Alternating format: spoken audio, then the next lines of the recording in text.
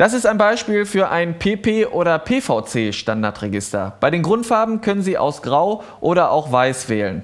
Bei den Taben gibt es sämtliche Einteilungsmöglichkeiten, entweder von 1 bis 15, 1 bis 10 oder auch Januar bis Dezember. Für weitere Möglichkeiten sprechen Sie uns einfach an.